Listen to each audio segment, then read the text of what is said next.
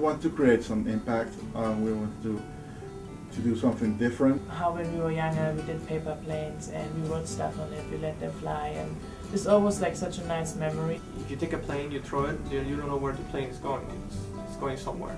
We'll say, okay, what if we give it a real direction? We thought it would fit to do it for 9/11 and let and let the people like send us their thoughts and that what they think and what they have to say. Put a, a message of hope in it, put something that will inspire others. We decided to create a web page. That combined Twitter, that combined uh, the blog type of style. We got at the end over 800 followers just like because everybody shared our idea and asked other people to share thoughts. People wrote messages, people wrote poems. We collected them all and then put them all on paper and then one day before 9-11 we were all sitting together and started folding a huge amount of paper planes. In the morning, we, you know, we haven't slept at all. And we look out a window and what is our surprise?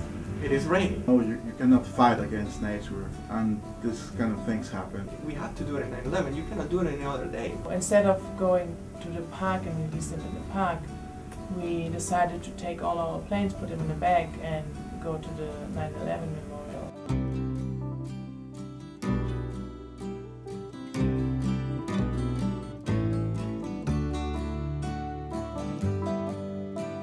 We didn't know how this thing would come out.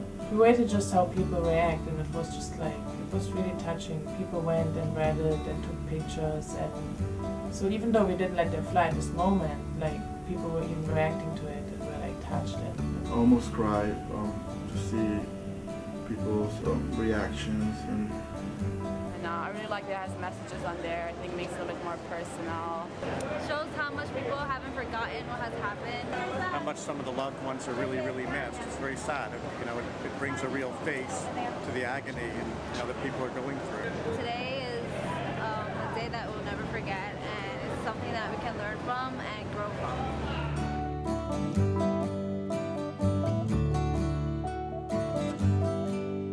Well, I think it's fine building jumbo planes, taking a ride on a cosmic train.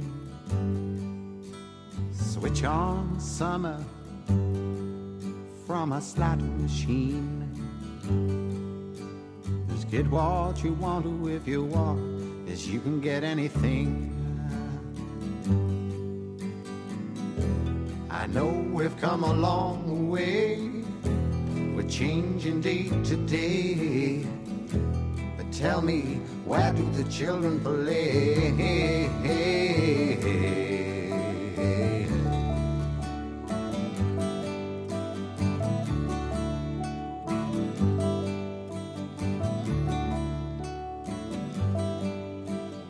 Roll on roads over fresh green grass.